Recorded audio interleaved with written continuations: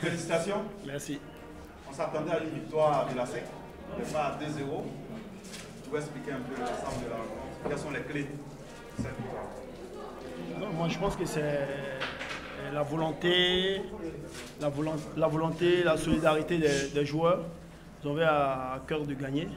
Je pense qu'ils ont fait des efforts ensemble. euh, il faut les féliciter. Et puis, encore une fois, euh, cette victoire, je pense qu'elle va nous faire du bien.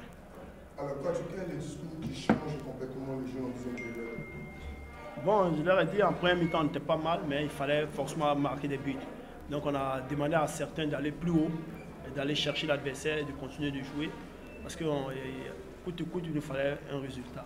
Et je pense que ça payait après. 2-0, on pense que la peut se qualifier en phase de groupe. Euh, c'est un, match de football. hein. tout est possible. Moi je pense que là-bas on va aller se battre. C'est pas encore gagné d'avance. Ça ne va, pas être facile pour nous, mais l'objectif, comme on le dit, c'est être en phase de poule. Donc là-bas on va aller vraiment se battre pour chercher la qualification. Je pense que en tant que, en tant que capitaine de cette équipe jeune, moi, c'est toujours une satisfaction de pouvoir apporter un plus à mes amis, à- aux plus jeunes. Parce que être toujours au devant, ça leur donne encore cette motivation-là de pouvoir se battre. Parce que c'est une satisfaction dans ça. La suite de la compétition, vous êtes tout près de la phase de poule. La responsabilité devient plus grande. Oui, c'est une Coupe d'Afrique. Il faut dire que rien n'est gagné d'avance. Euh, Nous avons cette conviction-là, nous avons cette volonté-là aussi. Et je pense que les amis et moi iront là-bas pour, battre, euh, pour essayer de battre cette équipe-là. Parce que vouloir conserver le score, ce n'est pas la meilleure façon de pouvoir se qualifier. Je pense que nous, nous irons jouer comme, jouer comme nous l'avons fait ici. Vous promettez la qualification aux, actionnaires, tout le peuple ivoirien?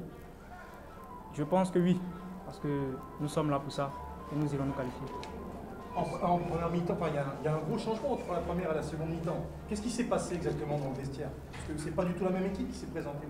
Comme il a dit l'entraîneur, vous étiez plus haut, etc.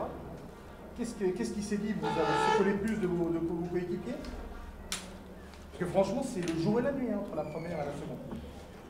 Bon, vous pouvez le dire, mais moi je pense que à la première mi-temps, nous avons eu le ballon. La différence, euh, c'est que la, la deuxième mi-temps, nous avons eu deux buts.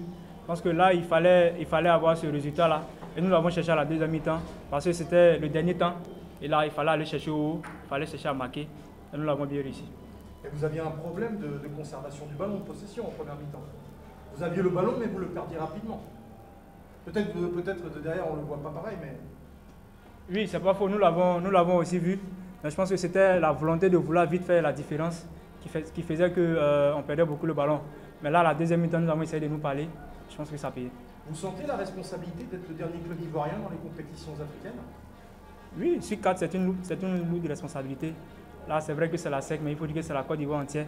Donc il faut se battre euh, pour ce pays-là et pouvoir aller le plus loin possible.